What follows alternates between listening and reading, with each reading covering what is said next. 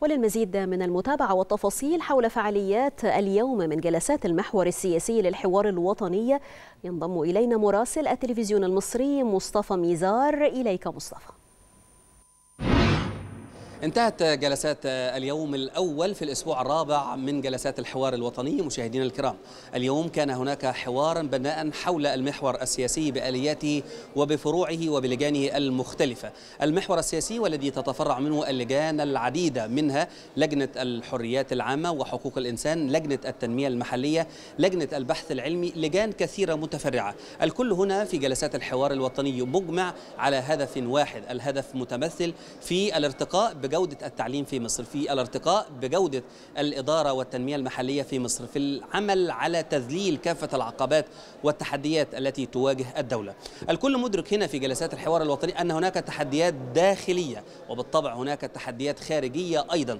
في جلسات الحوار الوطني اليوم في الجلسة الأولى والمتعلقة بالعمل الأهلي في مصر. العمل الأهلي في مصر ممتد لأكثر من 100 عام فمصر رائدة في العمل الأهلي وفي تقديم عمل أهلي يليق بالدولة المصرية. المصرية منذ ما يقرب من 100 عام. لكن الحديث ومحور الحديث كان يتمثل في أن هناك تناسق وتنسيق كامل ودائم ما بين الحكومة والقطاع الخاص. لكن نحتاج والجميع هنا يحتاج إلى مزيد من التنسيق والترتيب ما بين القوى السياسية والأحزاب السياسية والقوى المدنية لتوحيد كافة الجهود. الكل, تحد... الكل هنا تحدث عن ما دار في السنة الأخيرة وفي السنوات الأخيرة عن أن العمل الأهلي هو قاطرة للعمل التنموي والعمل الأهلي في مصر وأصبح هناك تحالف يضم معظم أو كافة القوى السياسية والجمعيات الأهلية وتوحيد للعمل الأهلي التنموي في هذا الكيان الكبير. أيضا كان هناك محور آخر عن حرية المعلومات وتداول المعلومات في الجامعات المصرية ومن حق الباحثين أن يكون هناك تداول المعلومات على كافة الأصعدة وأن تكون الجماعة الأكاديمية في مصر مع نظيرتها الأجنبية والدولية على قدم وساق. هناك تبادل للرسائل تبادل للمعلومات تبادل للآراء للأبحاث والآراء التي من الممكن أن تجعل الدولة المصرية وتجعل الفكر والابتكار في التعليم والتعليم الجامعي وما بعد الجامعي هو قاطرة. فالبحث العلمي في كافة الدول هو القاطرة الحقيقية للنهوض بالأوطان والأمم والدولة المصرية والأمة المصرية بباحثيها وبأساتذتها وبعلمائها. هي تعتبر القاطرة الحقيقية. فالباحث المصري دائما وأبدا يثبت نفسه ويتميز بالجدارة وبالذكاء وبالتنمية مهاراته وبتنمية ما يعمل في هذه البيئة. هذا كان محورا رئيسيا. كان هناك محور آخر عن قضية الإدارة المحلية في مصر. الإدارة المحلية في التقسيم الجغرافي لمحافظات الجمهورية. الإدارة المحلية الكل تحدث فيها المتحدثون والمشاركون عن فكرة أنه لا تكون هناك مركزية في اتخاذ القرارات أن يكون الانتخاب هو سيد الموقف أن تكون هناك مجالس محلية منتخبة ومجالس محافظين منتخبة تعبر عن الظرف الطارئ والظرف الراهن وتعبر عن الهوية المصرية وأن يكون المحافظ يده مطلوقة دائما في الحفاظ على مقدرات المحافظة وأن تكون هناك تنمية وتبادل لوجهات النظر. كان هذا محورا آخر في البحث العلمي ومحور في التنمية المحلية ومحور في العمل الأهلي. كانت الجلسات والنقاشات تتحدث عن فكرة التنمية وفكرة التطور وفكرة البحث العلمي وما يمكن أن تنتشل به الأوطان والأمم.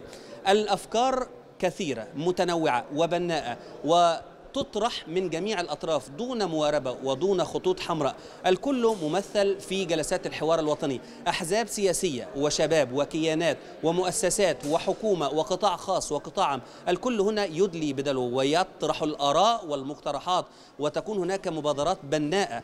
ربما كان الوقت لم يتسع لتحدث الكثير من الجالسين في الجلسات لكن الأفكار مقدمة ومعروضة على الجميع. الكل هنا ينشد أن الوطن باق وأن الوطن يمكن أن يتسع الجميع والخلاف دائما لا يفسد للوطن قضية كما قال وأكد السيد الرئيس عبد الفتاح السيسي في معرض جلساته ودعوته للحوار الوطني والتي دعا لهذا الحوار في رمضان الماضي في إفطار الأسرة المصرية دعا جميع القوى السياسية من أجل التكاتف من أجل بناء دولة ديمقراطية ومن أجل بناء جمهورية جديدة تتسع للجميع وينعم فيها الإنسان بحقه وينعم فيها المرء بكل واجباته ويحصل على حقوقه ويقدم أيضا واجباته الدعوة مفتوحة للجميع. الحوار الوطني يسعى الجميع. المناقشات والحلول مطروحة هنا للنقاش من كافة الفئات ولكافة المواطنين على قدم وساق كان هذا جزءا في هذا المحور مشاهدينا الكرام بالطبع سنتابع معكم في الأيام القليلة القادمة.